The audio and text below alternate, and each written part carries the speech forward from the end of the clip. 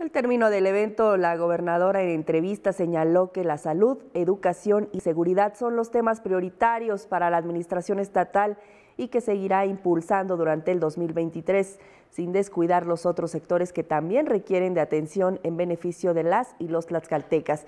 Esto ante los cuestionamientos de los medios locales sobre la proyección y asignación del presupuesto en el próximo año.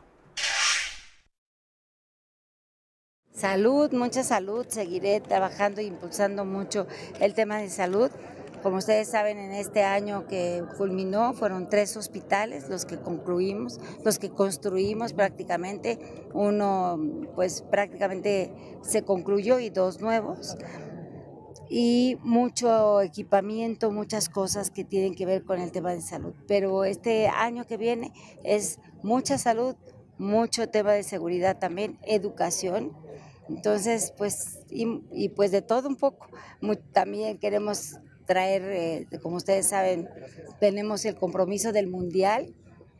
166 millones de espectadores vamos a tener en Tlaxcala y tenemos que trabajar también en todo ese eh, infraestructura que tiene que ir quedando para que Tlaxcala pues ya sea sede de muchos eventos mundiales.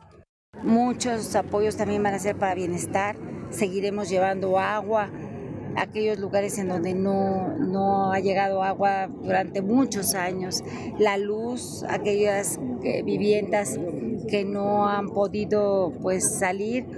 Eh, agradecerle ahorita también a los diputados, ya salieron las dos eh, iniciativas preferentes y bueno, pues decirles que vamos a seguir trabajando fuertemente por Tlaxcala.